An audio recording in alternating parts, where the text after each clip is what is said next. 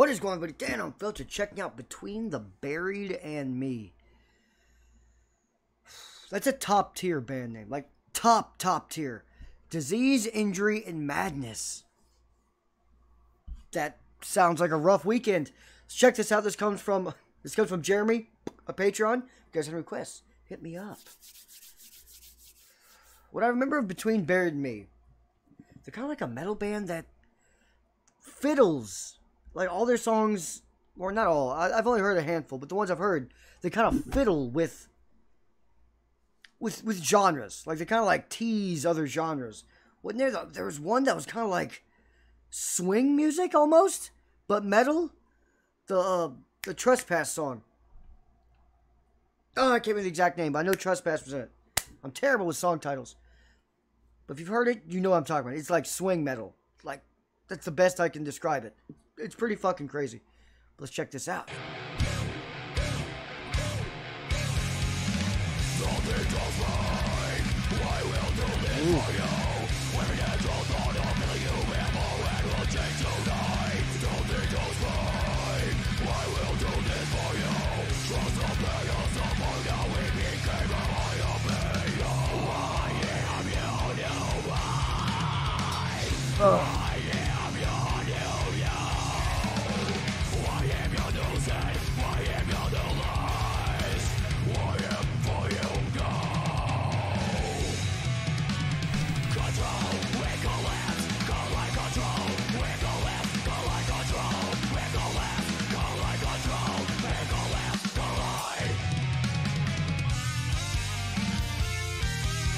See?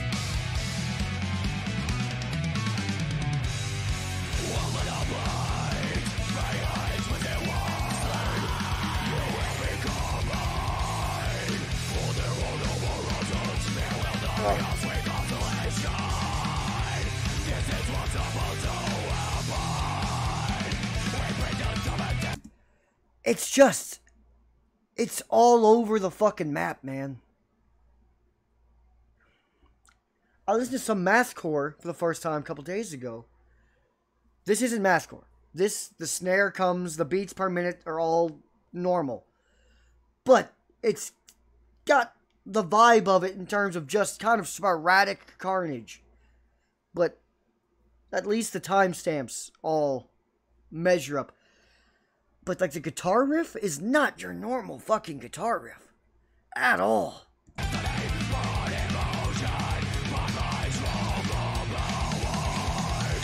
Now it's normal.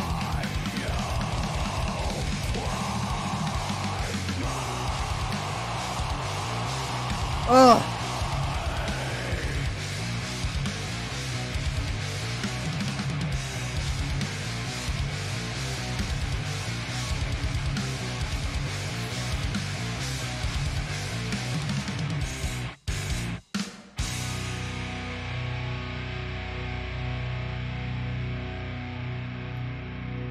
I thought the chorus was coming.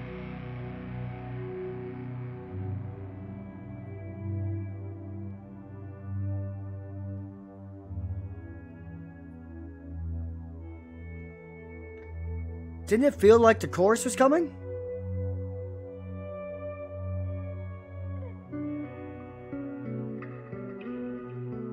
Yo.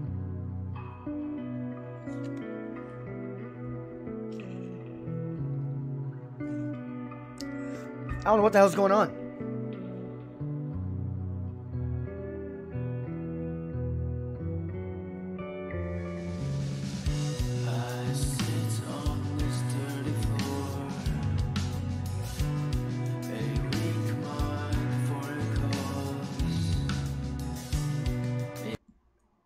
It's an entirely different song.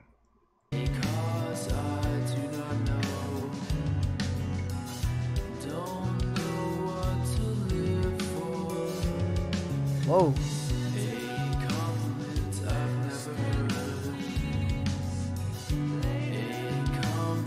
Don't play with me right now, uh, Bit Bam. There we go. I'm tired of saying the whole fucking thing the whole time. Bit Bam. Don't fucking play with me, guys. You, if this is in your toolbox, we might have another they, their potential goes up, their ceiling goes up pretty substantially. We're gonna intertwine two singers doing soft vocal, but yet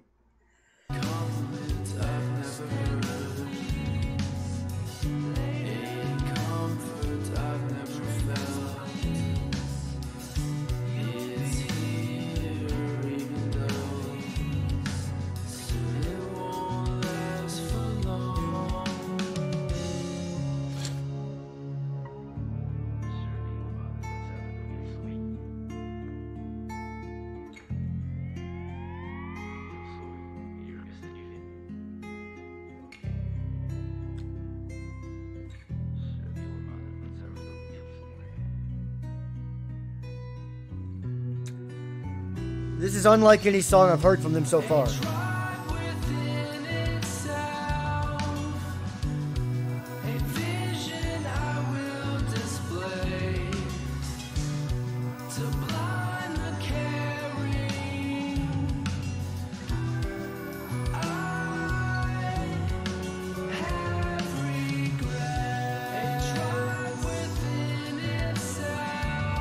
Oh, yes! Come on!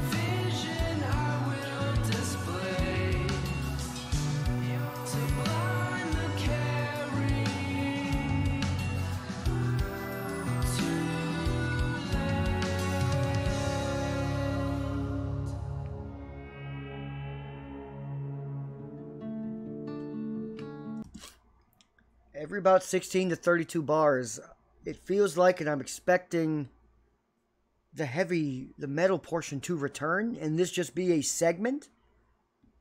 But I'm start. Ah, was the intro just, or like, was the first, the metal portion at the beginning, was that just an intro? And this is the actual sound of the song? Because this, this has gone on a while.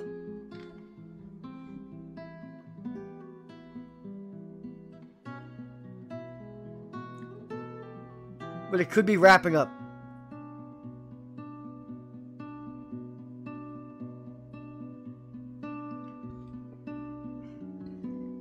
Yeah, it's wrapping up.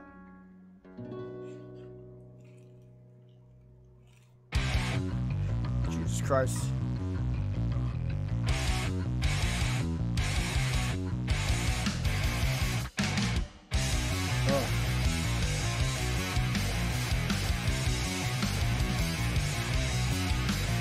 Here we go.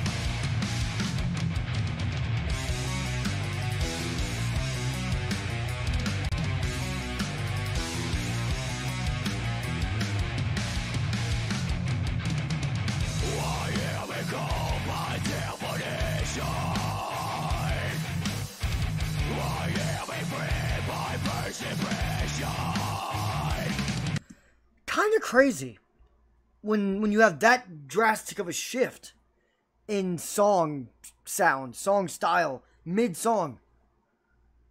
Like, cool. It was a nice jarring, like, transition in and out of it, but why not just do it in, why not just make that two separate songs? This portion and the, the soft portion just make an extra about minute 20 longer, and you have yourself a nice little soft song in the middle of your album. Instead, it's like a portion of a song in the middle of this song. It's like Inception. Very strange. Song within song.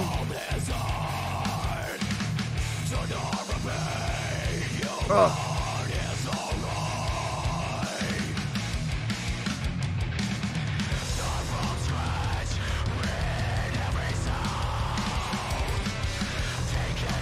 Whoa.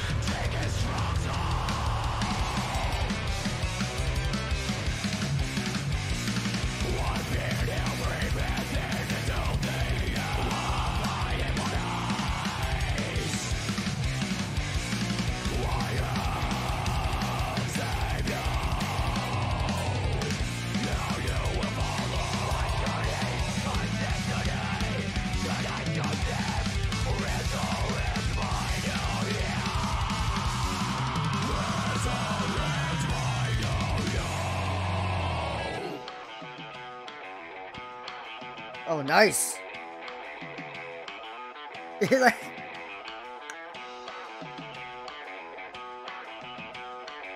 let this ride for a minute. Gone. Gone.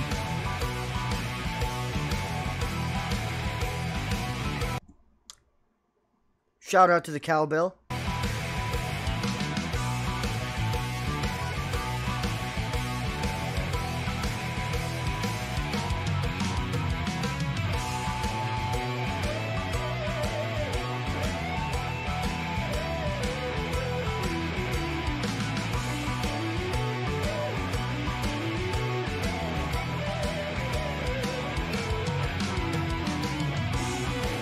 Ah.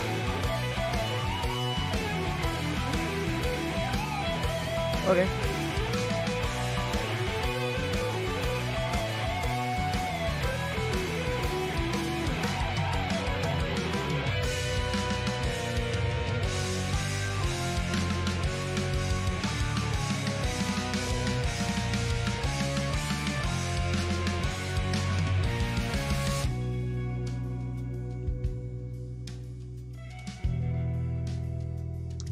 You know, that time the transition wasn't as jarring. It almost, that almost went really smoothly, like right into it.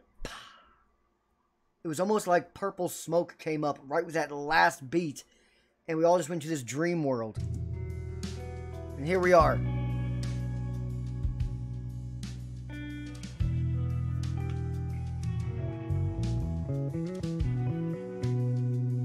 That bass line.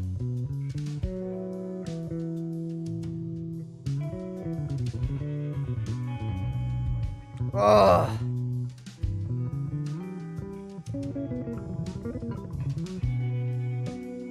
Talk to him.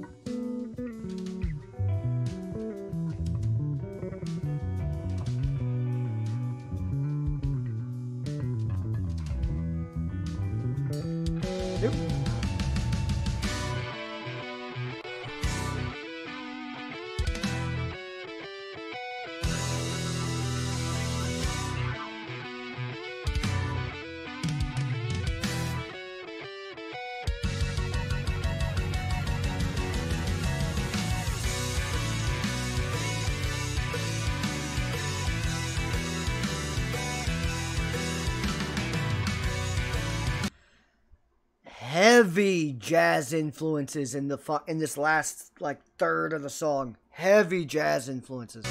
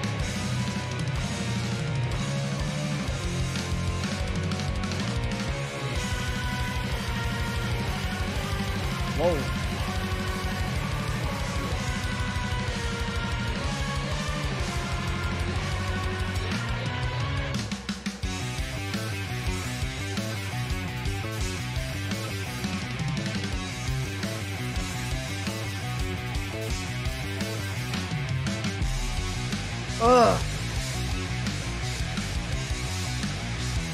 Bring back.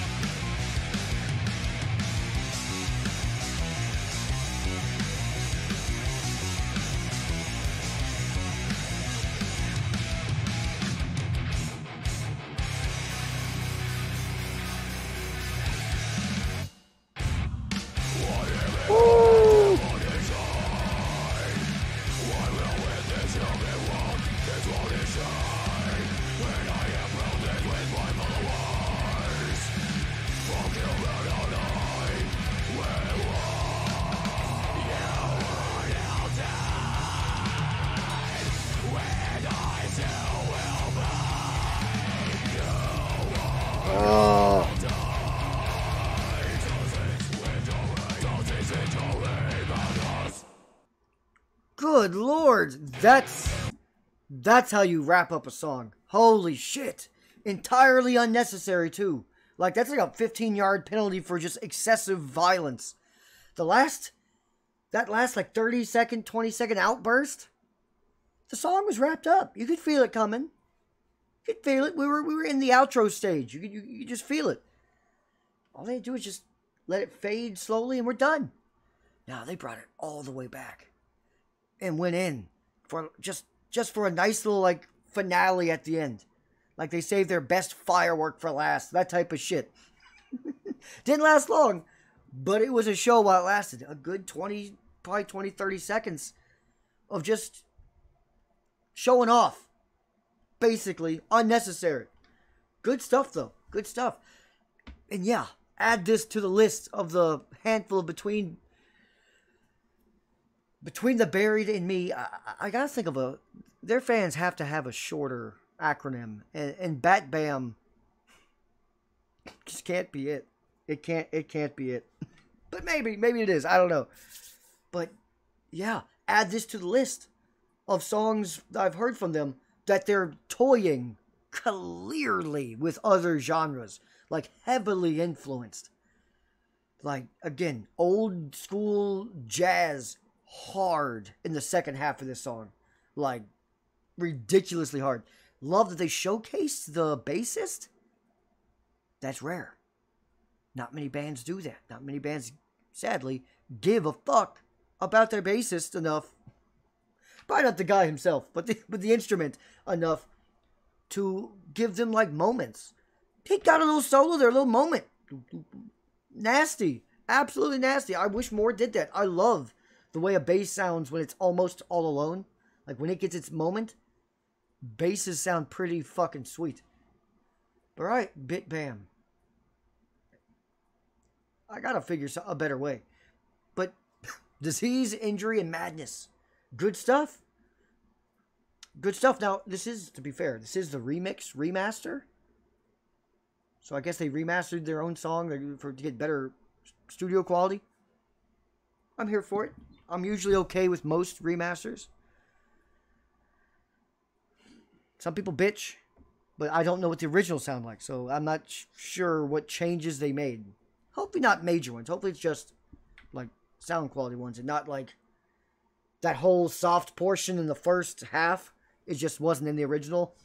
That would that would just piss me off. But hit like, and again, if it's me, I would just take the that soft portion they had there in the first half that lasted about two and a half minutes. I just would have added another minute and made that its own song and then compress this down by I guess about two minutes. Why not? You get two songs out of out of what you became just one. Both good. But if you are still here, you are. Hey everyone. Jeremy, appreciate you, homie.